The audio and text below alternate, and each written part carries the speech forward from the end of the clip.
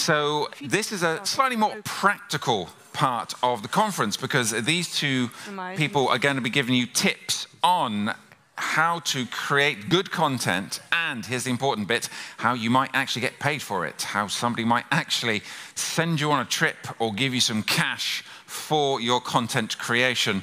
And who doesn't like getting sent away on assignment for free or even getting paid? I know i do.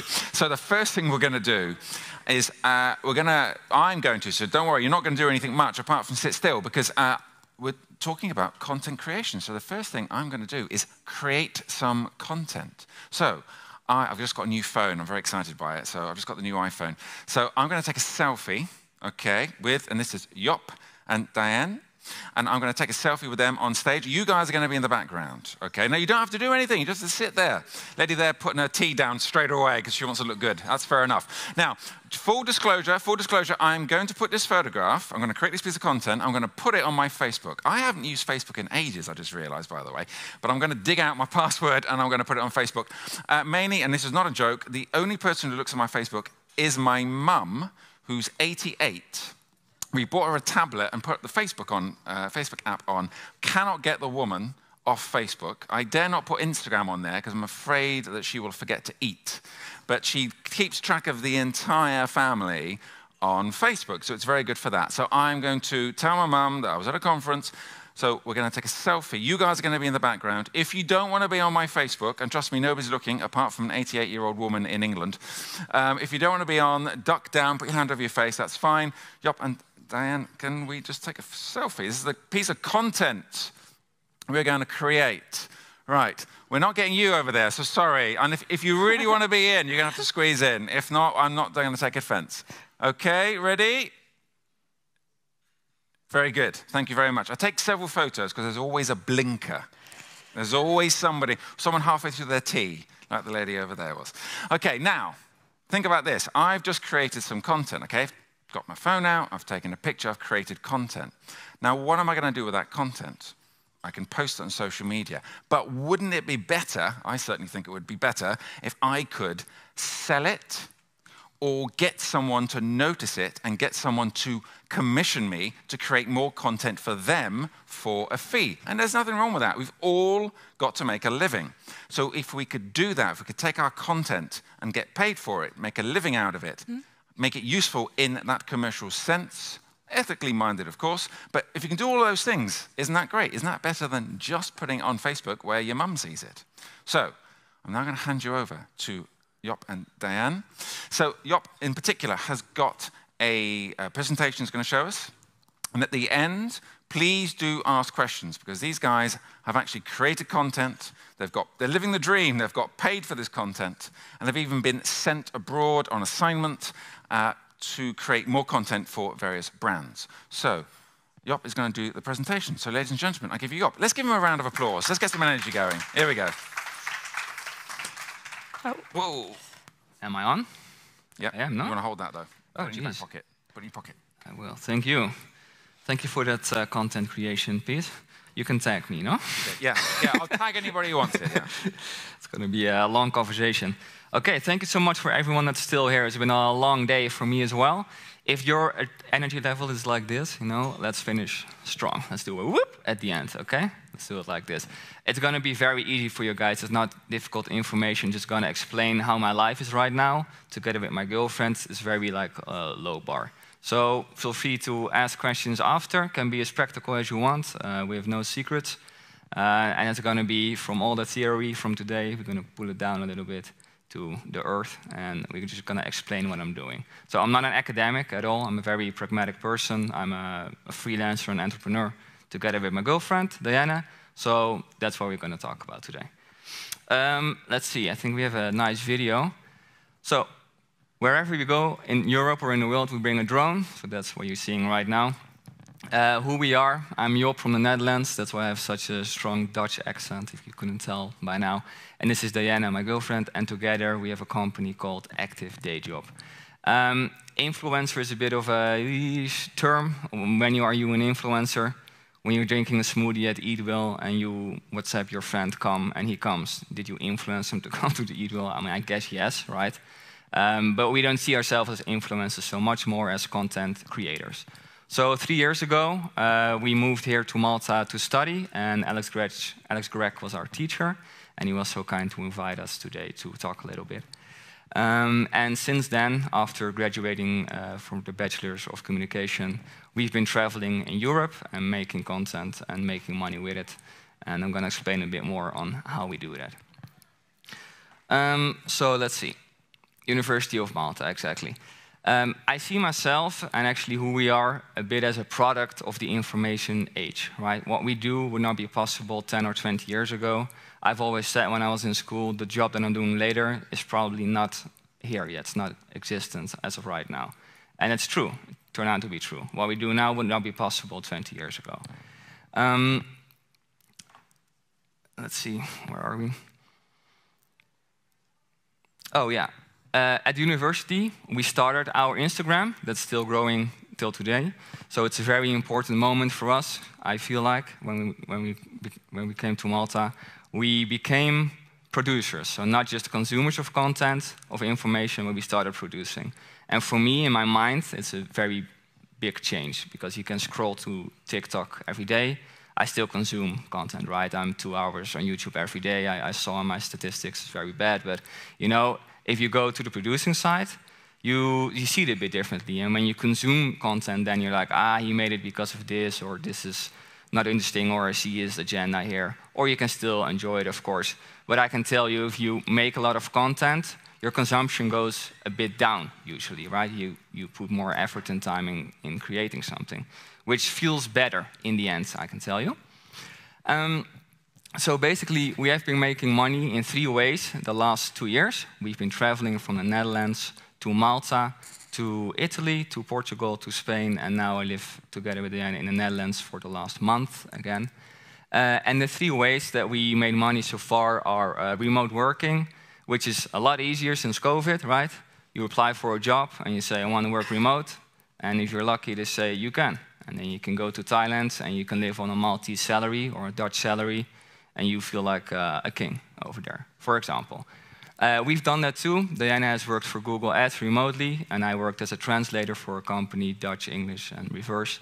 Uh, and you can go wherever you want, right? And that's what we like. The second uh, way is contract-based. This is me on this little scooter here. I um, sometimes we don't have enough money or enough uh, opportunities to do a job uh, like uh, from a distance, so we just look online usually on Jobbers with a Y. If you want to work abroad, go to jobbers.com. Uh, and we find a job somewhere, and we go there, and we work there, we save some money, uh, and usually it's part-time, and on the side we still create content. And as you see, even for this job, I was a tour guide on steps, on uh, e-scooters, and I still created content there, uh, because I like it. So I tell my boss, hey, I can create a nice video for you if you want, and well, here you see it. And the third one, and the most important for us, is uh, freelance work. So you probably know um, about Upwork or Fiverr, the platforms where you can work as a freelancer. Upwork is a bit more professional. Fiverr is good if you have something that takes a little effort, but you can ask some money for it, like, uh, I don't know, photoshopping someone's face, right? You can ask 10 euros and you can do five faces in an hour. You have 50 euros an hour. That can be quite good. But on Upwork, it's a bit more professional, and usually it's like a longer contract that you get with a company. Um, about uh, the freelance lifestyle, we have a bit, uh, I have a bit, uh, uh we're going to go a bit deeper in that one because it's the most interesting to us. Um, everything we do, every, every, place where we find the jobs that we do is online, so it would only be possible uh, right now, so not 20 years ago, like I said. And one of the, the big ones that we have is our Instagram. That's our focus. I mean, who isn't on Instagram? Can I see a show of, ha of hands who is on Instagram? I'm on Instagram. Everyone's on Instagram, right? You're not on Instagram? Okay, there we go. but most people are. There's a lot, a lot of people on Instagram. We choose to focus there because it's quite complicated to learn about how TikTok works and Facebook and Twitter and Reddit and Instagram, right? So we focus on one and we do our job there. So our Instagram, I see more as a portfolio almost. So if I speak to someone and I say, I can create content for you, and they say, well, what can you do? I say, go to my Instagram.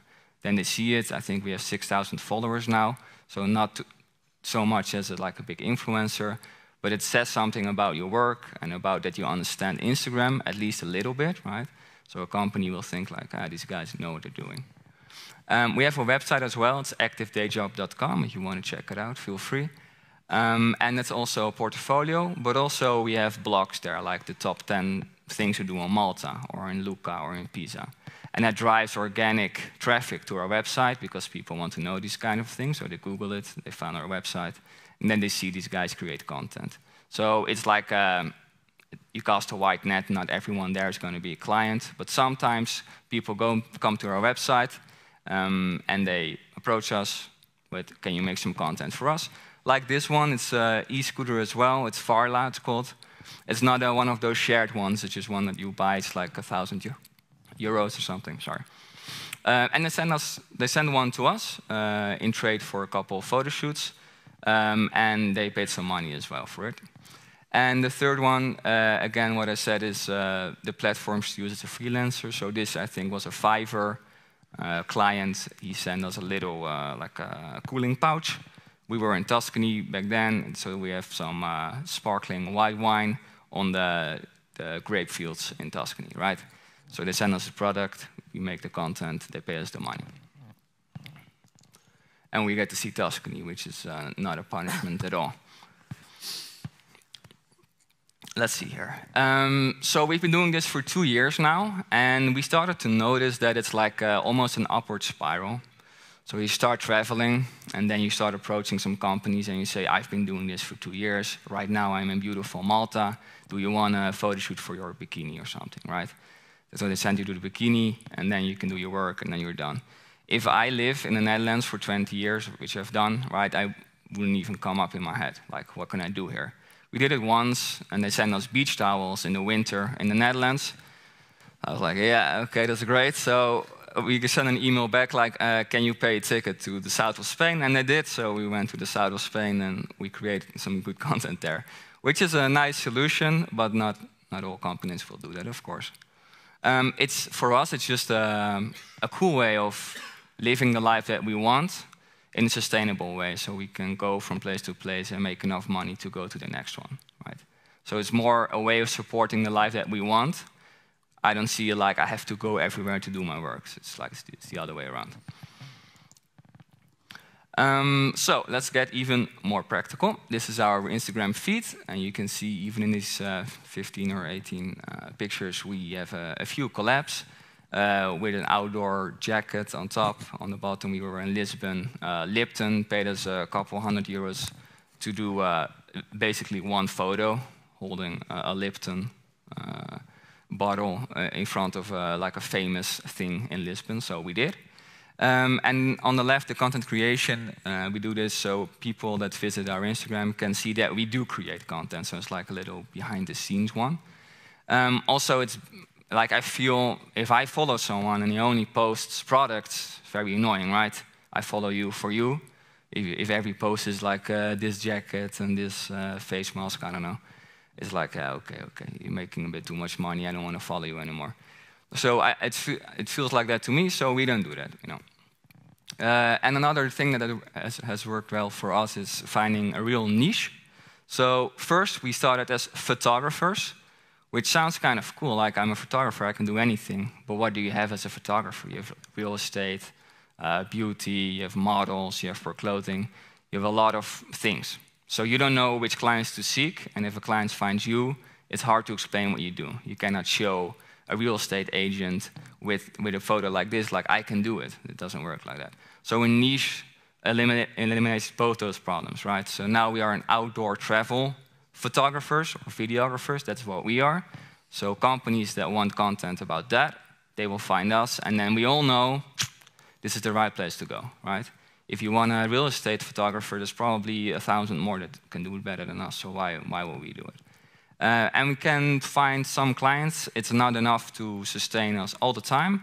That's why we still do contract-based work uh, or uh, remote work. Um, so about people that approach us, I don't know how much followers you guys have, but a normal Gen Zer here already has like a thousand followers just from your friends. basically, right? And I think, especially with girls, you get a lot of uh, messages like the right one. Super generic. This uh, person sends to me, hello, beautiful, like, thanks. awesome. Uh, and we are actually a couple, and when they say like uh, singular stuff, you know, they didn't even check our Instagram, they just send it to us. Um, and usually I go to a page like this, like Pink and whatever this is, and usually it's a small page with 50 followers. They are all just people that get a bit of affiliate money if they get someone to buy something there. So this is also for me uh, a red sign, you know. So we get a lot of these. I'm sure you guys do as well. I don't know if you ever picked up on one. We did it, I think, one or two times and found out real quick this is not a way to make money. Usually, um, they send you a free product, but the shipping cost is 20 or 30 euros and you get a crappy something, right? That's the way they make money. Um, and sometimes they do send you something, but they don't pay money to create content. So it's, it's fun that I now have a, a backpack, but doesn't pay the bills, right? So we have to up it a little bit. So on the left, uh, we have a company, Everfun. They found our website. And I can already tell, you can probably too by the mail, that's a bit more serious. Yeah, at least checked our Instagram or website, or he knows what we do, right? So we responded and ended up working with them. And actually, uh, we are here this weekend for this conference. And this weekend, we're doing some content creation for them as well. So we took a backpack with us. So this is an ongoing thing just from one email. So you can see it can be very quick and easy sometimes. Um, so it's not all good. it's not uh, as easy or as safe as just uh, living at home and working at a company, like most of my friends in the Netherlands do, or my family, right? Um, we have a lot of pressure to keep things going. If you stop, the, the clients stop coming as well, and the followers drop off as well. So it's a lot of like constant pressure to keep going. Uh, for me, it's, it's, good because I'm a lazy guy. I only do stuff when I need to. So it's good that there's a little bit pressure behind me. Uh, but it's good to keep it in mind because you can lose yourself. You can spend, we know people that spend eight or 10 hours every day on Instagram because they want to be an influencer.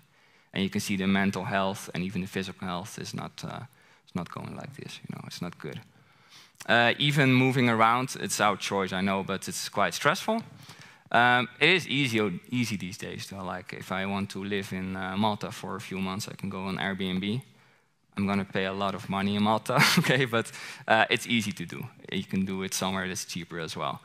If I say to my parents, I'm going to live in Lisbon, Lisbon for a few months, my father asks, How do you find a house? And I'm like, What do you mean, how do you find a house? I go on Airbnb or I go on Facebook, some marketplace group or whatever, right? what do you mean? It's easy. Um, and there's a lot of comparing. I, I guess you guys recognize this one, right? You see someone on Instagram that's richer, hotter, fitter. I don't know. We see this a lot too. We are in kind of in a bubble. We, we speak a lot with other travel content creators, and we're always looking like, why is their reel taking off and ours is not? You know, why are they making more money and we not? Why are they invited to this hotel we are not? So it, the comparing, maybe it can motivate you, but it's not like the healthiest thing to always be doing, you know. Also, where, where does it end? You know, there's no end there. it's not a game you can win. Um, okay. I think that's that was that's my last one. Yeah, exactly. I wanted to end with a nice quote. Who doesn't like a nice quote? It's about knowing of how to make use of online tools without being overloaded with too much information like it or not, is an essential ingredient to personal success in the 21st century. If you have a question, uh, could be about this, right? Do you agree? I, for me, it's true. For me, it rings true. But my, I have four sisters that all live in the Netherlands. They have a house and kids and all that. They don't use a lot of online tools or information to do their work. They get fine. They, they get by fine. The one is a doctor's assistant. She doesn't do what I do. She doesn't need all those skills. But for me, it feels like I need to be like on top of Instagram. I need to know how it works, otherwise I don't have clients. You know. So for me, this is very true. I think for Gen Z, it's even more true. Even maybe they don't even realize it. Maybe it's normal for you guys, um, but maybe for some people it's not true. That's why I wanted to uh, to end with this. So thank you so much for your, for your attention. Uh, please feel free to ask any question.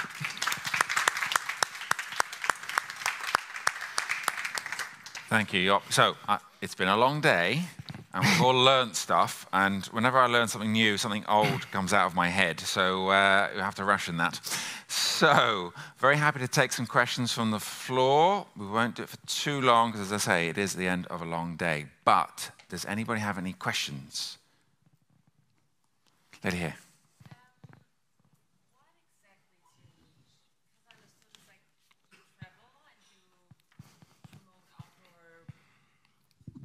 Um, I was just asking, what is your niche again? I mean, there are a lot of people on Instagram who travel. There are a lot of people who do, you know, are outdoor a lot. So, what is it exactly? That's me. That's good. I keep talking. Am I uh, on? I am. Oh, good. Um, so we are in this niche the whole time. We are only seeing other people that also don't have a home and and travel around and work. Uh, maybe they live in a van, they live the van life. So that's, that's the niche where we live in. Uh, for clients also, it's sometimes a bit confusing, right?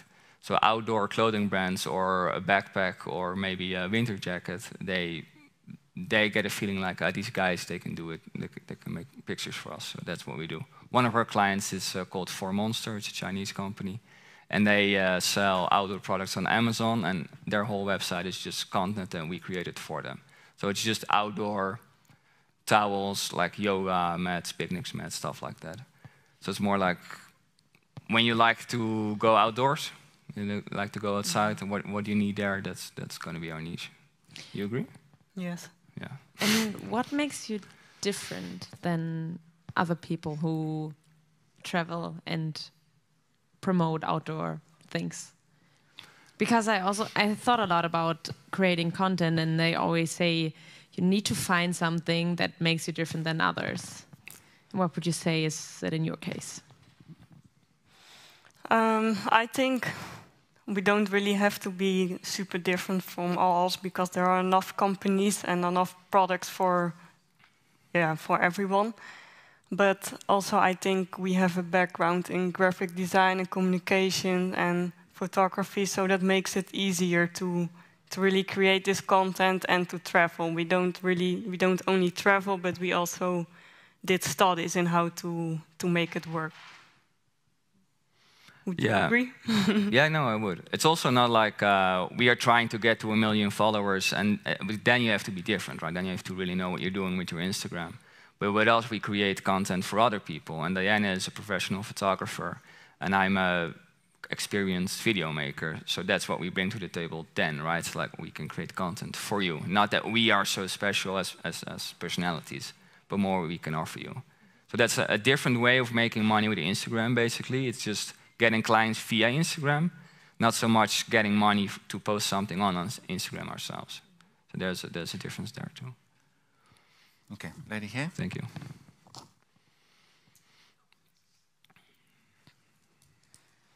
Uh, well, thank you very much. It was uh, really inspiring. And I wanted to ask you if you do it as a full time job, uh, creating content, this is your only job, and have you have all kind of maybe concerns about the future? Maybe social media won't be that strong in a few years, is something that I would like to know.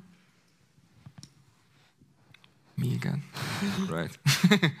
um, not always full time because we don't have enough clients for that. But if I have a job, I'm starting in the Netherlands in a few weeks for a few months to work, also as a content marketer. So I'm still going to be creating content, just not for uh, my own clients, just for uh, yeah, as an employee basically, right? So in that way, yeah, we have been doing it full time, but not uh, the the fun examples that you just saw, like photographing a, a, towel. We don't have enough to do that full time. It pays maybe like a few hundred euros uh, for a day for two people. That's not enough. The only the only way to make money like that is to do like weddings or stuff that pays a bit more. Um, and for the future, no, no, there's no no worry there. no content is gonna up, up, up, up, up. Okay, so the gentleman just before, sorry, lady there and then gentleman there, I think wanted to ask a question. Just before we do that, we're going to get you involved because you've been far too quiet. So I'm going to ask you a direct question. Yes. Photography. So you're a professional photographer. Obviously, we've heard about your Instagram account. So give us some quick thoughts on photography on Instagram. What works the best for you? What do you think, what kind of images, bearing in mind what you guys do, and you travel, uh, and you show lifestyle, and you show products, and you show yourselves as well. What kind of photography works the best on Instagram for you? Um, well, I know that people on Instagram, when you have a picture with someone inside, that always works the best. So when you only have a product, it can be a super nice picture from a backpack with a mountain in the background. It can be nice, but it doesn't work as good as you have a person with the backpack. And um, yeah, we always use ourselves, not because we are great models or anything, but it just works better. And it also, we wanted to keep it real. We are just, we like to be outdoor. And yeah, we don't see ourselves really as models, but people don't mind because it's just ourselves enjoying the nature and companies like that. I think you're both delightful, so I think you both could be models. But what you're talking about is authenticity. People see real people using a product, it makes it more an authentic experience? Yeah, it's more real. When you see someone really using the backpack and hiking in some mountains with the backpack, it's nicer to see than just yeah the, the backpack itself. Okay, very good. So there you go, people put people in your photographs, that'll help out. Lady there with the microphone. I, have been telling my, my grandparents to do that for ages. They just take a picture of where they've gone on holiday with no one actually in it. so thank you. I'll use that for feedback for them as well. Uh, one, how awesome your job your job is or um, your experience is. Like I'm sure it's as you you go online, it's everyone's dream, right? They they want to be able to travel and be paid to do it, which is why obviously you're here telling us.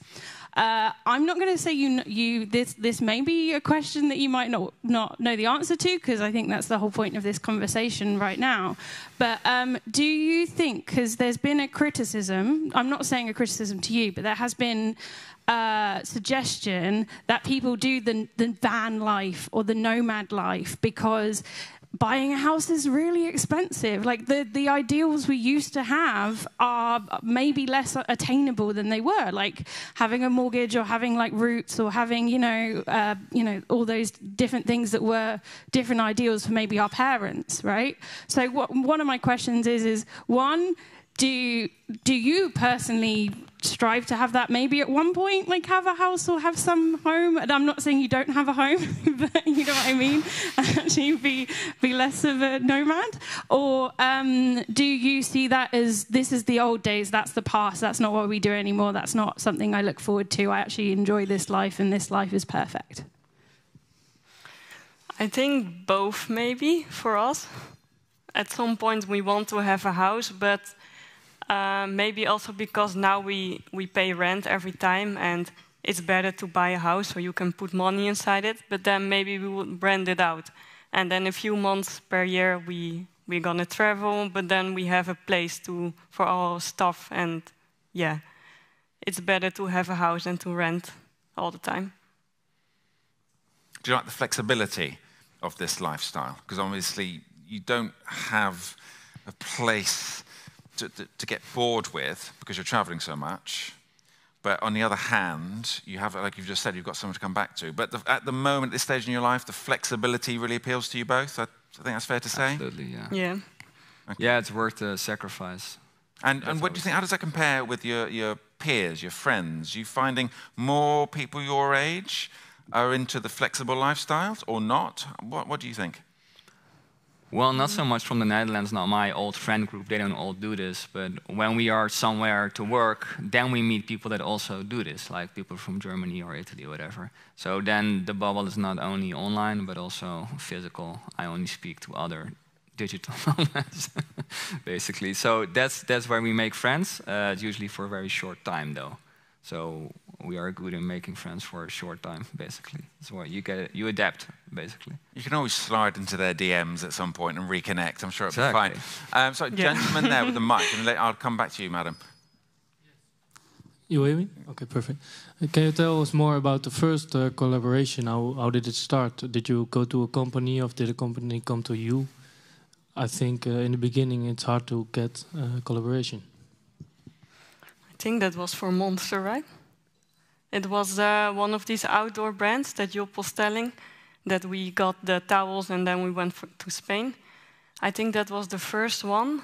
And they uh, sent us a message on Instagram. And first we thought it was like, like weird or fake, but then we thought, yeah, we have nothing to lose. But then they actually were super nice, and now three years later, we still work with them like every month or every two months. Yeah, my first content creation ever was uh, a wedding for some good money, at least. Yeah, yeah, it's a good stepping stone, but most people don't uh, keep doing it for a long time. Okay, lady there. Oh no, we're going to go there, and then we'll come back to you. Hi, um, I'm just really fascinated on how you started your journey as like remote working. Um, I would really like to work uh, remote working, but I think it's very limiting here in Malta. So I'm really scared to take that step, and I have no idea where to look, where to look for it, how to even start.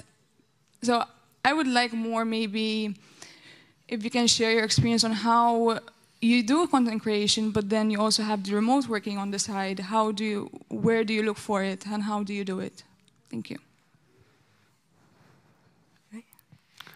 Uh, my last remote working was uh, I worked at a company physically. Then I told them I am going to move away, uh, but they were happy with how I was doing my work, so I can make a little uh, agreement that I keep doing it remotely, right?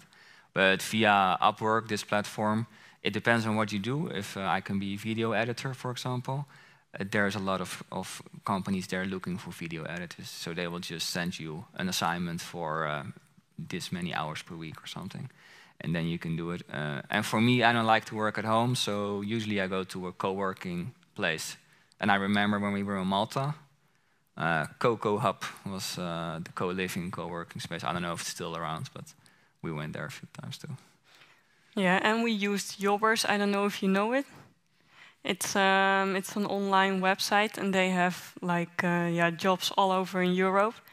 And with some of them, you can you get the job, but you also get a house. So that's super easy. They they just arrange everything for you, and then you go to Lisbon, for example, and then they also have an apartment for you. So then it's super easy to to move away. Just to add into that myself, I've um, recently picked up some freelance work, and I was quite amazed because I just uh, hit up a load of people that I knew on LinkedIn. Uh, and just reached out to people. I reached out because it's not a great word. Uh, I contacted, I wrote to uh, people and just said, Hey, I'm looking for work. Do you have anything going? And some people came back and said, Yes, actually, we have gaps. And so, taking that first step, don't wait to see an advert actually identify people and places you'd like to work at and approach them and say, I can do this, I'm available, do you have anything going? Because actually, of late, touch wood, I found that to be quite fruitful. So contact people. Oh, she's thought of another question. Go for it. But do you like do you send them your portfolio or because I fear that some people might think you're a scam or something. That's why I find it um, a bit scared to approach people, like me approaching someone at first. Like, uh, two, so, two page CV, and I, I'm not a creative in the visual sense, I'm a, I'm a writer, but still, I think a two page document with a short, heavily spell checked, uh, short message won't come across as a scam. If it's badly written, and if it's a dodgy format, uh, the, the, attachment is a dodgy format, and if, and people do this, people make their CVs pink and things like this. They do it. They make different colors. I mean, some people put photos on. I wouldn't do that. Definitely, I would never get employed. But you have a standard approach. You have a Word mm-hmm. document, two pages, and a short, polite, spell-checked approach, and just hit lots of people up. Rewrite it each time slightly so it sounds fresh, is my advice. But I've got results. People have not had job adverts, but they've given me work because I've made that sort of straightforward, simple approach. So I have found that in my experience, I have found that it works. Lady here. Um, I would like to know are you able to save money or do you live rather paycheck to paycheck?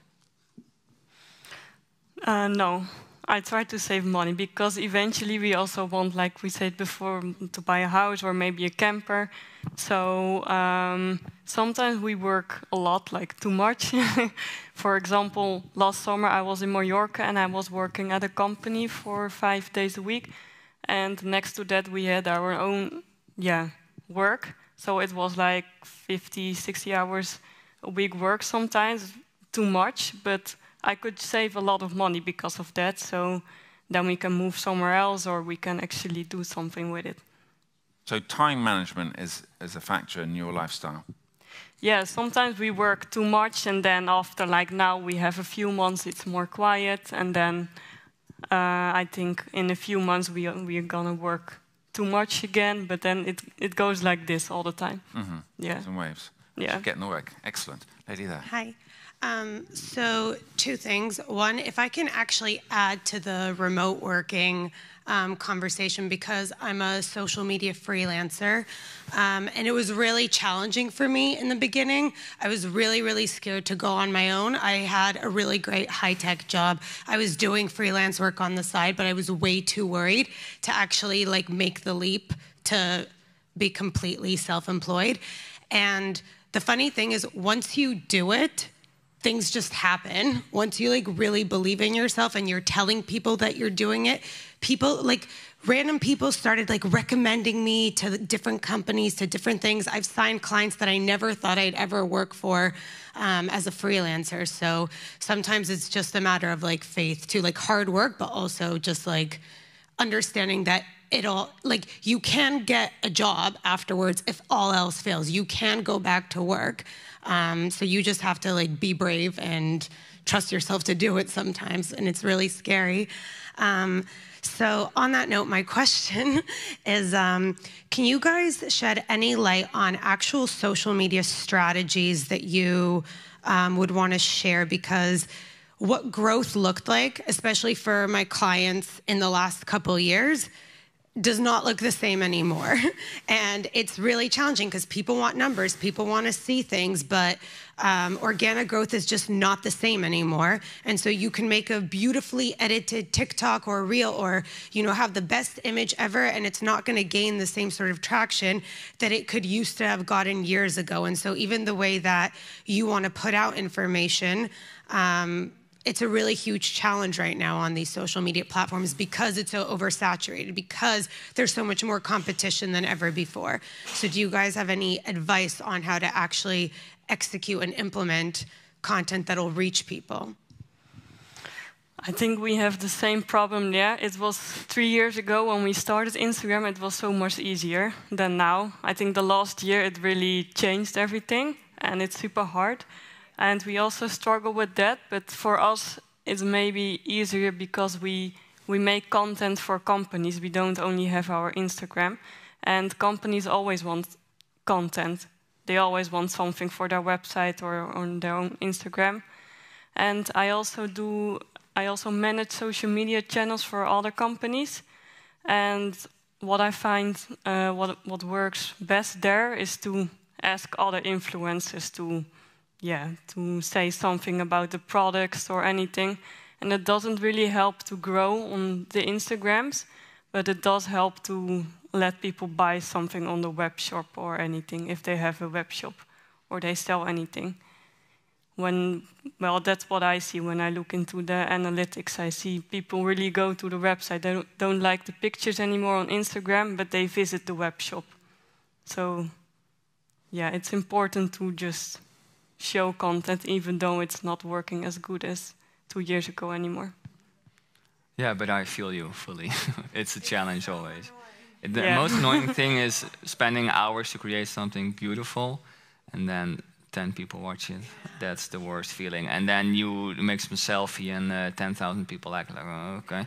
yeah, it's, it's, such a weird, weird uh, environment sometimes. But one thing is always the same since the beginning is consistency. Consistency is key yeah, every day something is the best. Doesn't have to be top notch always. Yeah. Made it back there.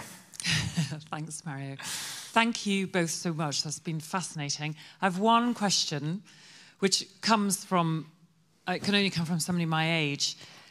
if you could quantify it, and I know it's difficult because you're traveling, so try and eliminate or take out um, the fact that you're away, because you're not away. You're in your minds, you're traveling. You've taken your home with you. My question is, how many hours a week, roughly, do you think you work?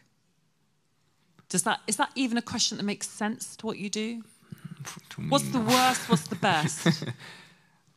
the worst is going to be like 70 and the best is going to be zero. and how often are the 70s and how often are the zeros? uh, the last month we lived on Mallorca and uh, I worked uh, there full time as a as a, like a locally based and next to it we did some uh, well quite a bit content creation so I think it was maybe 60 hours. Yeah. Uh, that was for uh, four months straight before. Yeah, but it's on Mallorca so you can still go swim if you try. But now maybe it's 10 hours a week. Yeah, now it's really low, so yeah, really like this. So that's better. Thank you. As a former journalist, Jeanette, I think I think you're thinking 70 hours. Is that all? It's like a part-time job. Part-time. You took the words out of my mouth. About to say that. Uh, any other? Lovely to have so many questions for from you all. Thank you very much for that. Any other questions? Okay. No other questions. I'm going to ask one final one and then we are done. Guys, thank you both very much for your time. Lovely to hear from you. Great insights there. Just my final uh, thought on this, my question I'd like to ask you. So we've heard about it's a bit unpredictable. So you get to travel, but then you get to do 70 hour weeks. And then sometimes you get money and sometimes you don't. Hmm. It's a bit up and down. But if, can you both give me a quick word on why? Why do you do this lifestyle? Why do you like to live like this? I think for me, I grew up in a super small village, and I saw people grew up in the village and they bought a house and they lived for 50 years in the same house. That always seemed super boring to me. Maybe it's nice, I don't know, but for me, it, I, I need some more. I like to travel and see other cultures, and I like to meet other people and other travelers. Just adventure and it, it really fits in the content we create. Excellent. Yeah. Yeah, I want to say something like funny, but it's uh, yeah, like I, I don't want to grow up or something, but it's really like when I grew up, I saw a lot of people working full-time jobs uh, because they had to, and uh, I saw it didn't make them happy. So I, I don't I don't want this for myself. So that's why we do it because we can right now don't have any kids or uh, a mortgage or something. So we wanted to try it, and we're doing it. Excellent. Well, I think you're both actually very brave to be going out, hitting the road, and, uh, and making your dreams come true. It's quite inspirational. So, thank you both very much for your time. Thank you. thank you.